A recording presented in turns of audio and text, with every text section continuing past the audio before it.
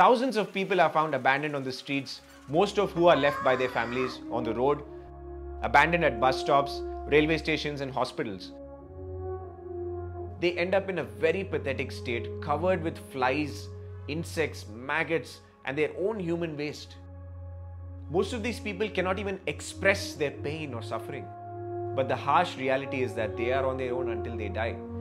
Second Chance Foundation is an NGO which was started by my wife and me, and we strive to give a second chance to those in need.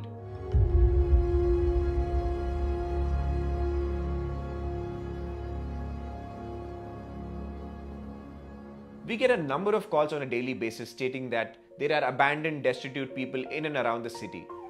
Our team responds immediately to this and rescues these people that are on the verge of death. Once rescued, they are brought to our shelter homes and treated with love and affection. We ensure that they get the best of accommodation, nutritious food, and medical help. Most of them make a full recovery, and the transformations are absolutely unbelievable.